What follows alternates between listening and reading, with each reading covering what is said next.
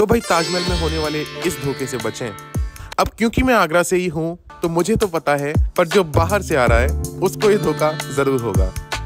इसके बारे में तो जानते ही होंगे कि ये जो 22 छोटे छोटे बने हुए हैं, इसका मतलब ताजमहल 22 साल में बना था, और यहाँ डेली नमाज़ पढ़ी जाती है।